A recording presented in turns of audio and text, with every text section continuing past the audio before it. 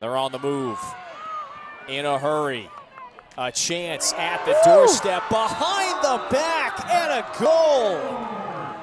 Vol gets the stop, but then gives it right back. Another behind the back for Mardiney. She's raising the bar.